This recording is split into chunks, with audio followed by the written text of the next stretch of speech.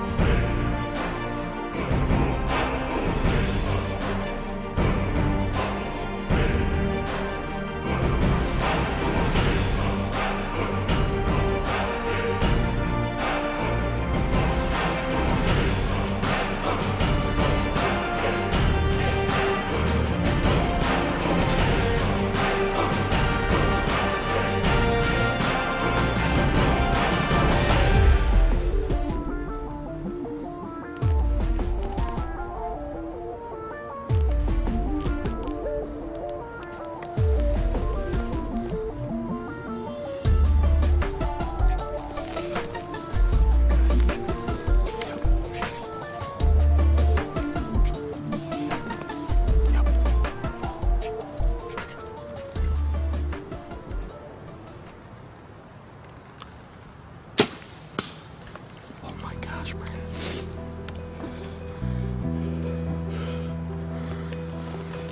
Brandon. Brandon. Brandon. The big seven is down. Brandon. The story just ended, Ben. Brandon. This is like full circle from from when you got your 10 point. We're finally back together. You know it. That's a perfect shot. 40 yards. Big seven is down. Brother Ben behind the camera. The killer food plot story has ended. Your 10 ringing at 40? Oh yeah, smoked him. I can't believe he went down like that. My average shot with a bow, Caleb and I joke about it, 40 yards or more.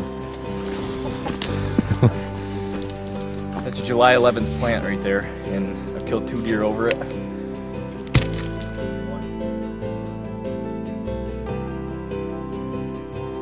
It's a good sight right there.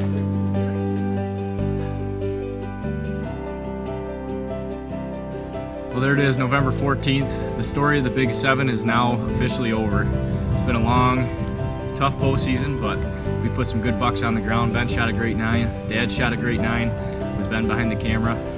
Story with him started back in July. Started getting trail cam pictures of him in Velvet, out of Velvet, and then again about October 20th is the last time I saw him on camera. Well, Dad did some scouting for me, saw him again about Wednesday night, which is about three days ago. Came in here with Ben, and uh, as luck would have it, he came out so November 14th.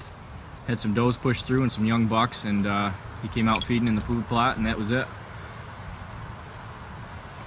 And there it is. Our season continues to, to roll. The Big Seven is down. With the New York archery season winding down, Brandon has done it. The Big Seven is down, and Brandon is tagged out. Hunting in Western New York presents challenges that not all parts of the country face, like extreme hunting pressure, over the counter tags, very long hunting seasons, and no age or antler restrictions makes finding and harvesting mature deer a real difficult task. But with a lot of time and a lot of hard work, the Big Seven is a trophy that Brandon can be extremely proud of. Every hunt has a story. Some are quick, in and out. Some expand over years, consuming more time than you could ever believe. Often the stories become more than just harvesting an animal. And all of these are the stories, certainly worth telling.